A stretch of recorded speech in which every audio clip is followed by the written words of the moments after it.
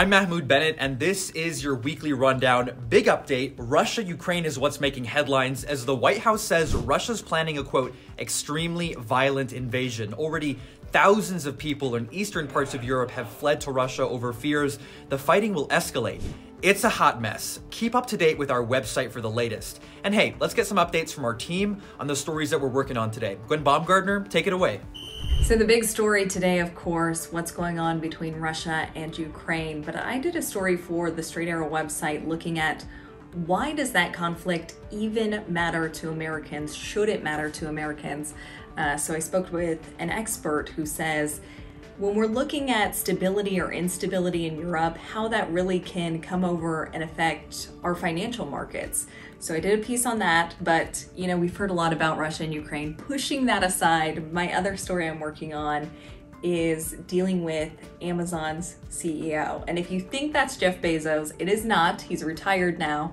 So I am doing a just one name on Andy Jassy, the new Amazon CEO and what this means for the future of Amazon. Annie? Hey, Gwen. Congress is out of session, but it's still a really busy week here in Washington, D.C. I'm working on a quick story about a New York Times report identifying who's behind QAnon. That'll be out today. And in our DC Dictionary department, I know you guys all love those, what do Liz Cheney and Adam Kinzinger have in common? Well, they're both Republicans and they've both been censured. It's a word we're seeing a lot lately in the headlines. We know it's a bad thing, but is it just a fancy way for our party to express disapproval? What does it actually do? Find out in my next DC Dictionary Explainer. Back to you in Omaha.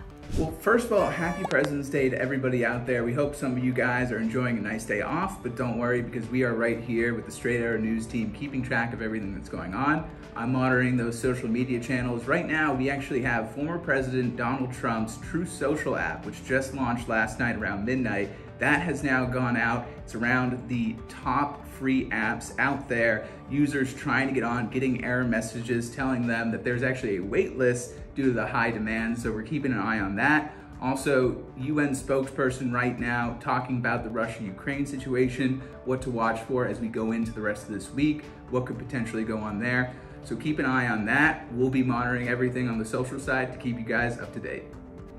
Thanks, team. And those are all the updates for now from the Straight Arrow newsroom. StraightArrowNews.com is where you'll find the latest and breaking, and you can also follow us on our socials that are all linked down in the description below.